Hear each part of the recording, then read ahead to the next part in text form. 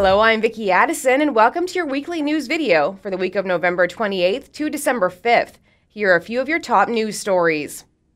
Katie Cares received a financial boost for its planned respite home to be located east of Boundary Trails Health Center.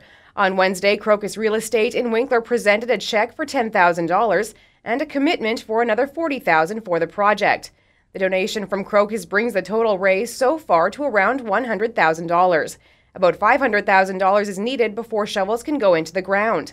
Meanwhile, going forward, Ruth Reimer of Katie Care says the respite home will now be known as Katie's Cottage. A trio of scenarios have been developed on how to implement a Ukrainian language program at Shevchenko School in Vita.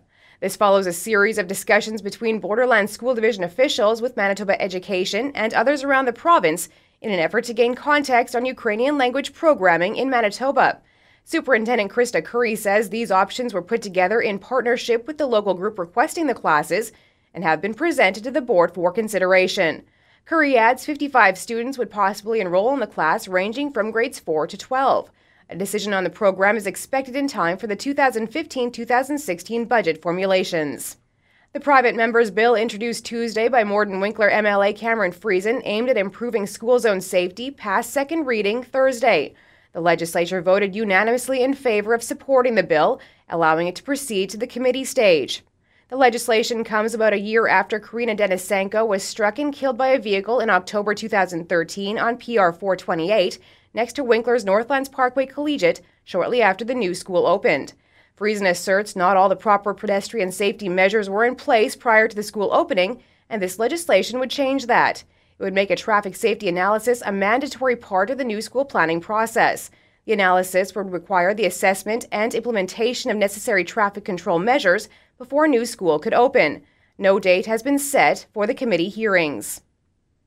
Major renovations to the Carman Memorial Hall continue to be plagued by delays. The project was expected to be finished by March 2015, but a number of unanticipated issues have arisen that will likely push completion of the work into next summer. Engineers have run into a variety of challenges that were unforeseen as they attempted to renovate the historic building.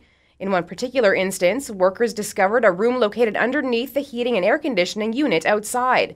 Mitchell says they had to pour several piers into that space in order to support the fire escape that would be located overhead.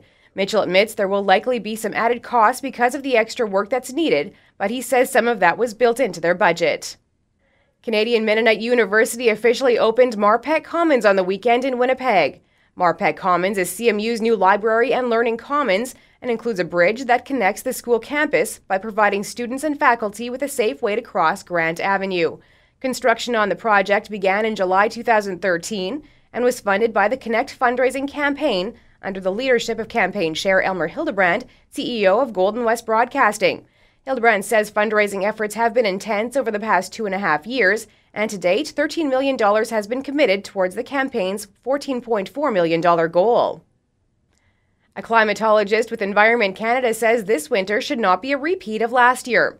David Phillips says last year's polar vortex left its mark on southern Manitoba from Halloween until Easter. He's expecting this winter in southern Manitoba will have above average temperatures and below normal precipitation.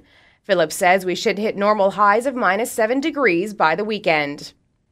And those were a few of your top news stories for the week of November 28th to December 5th.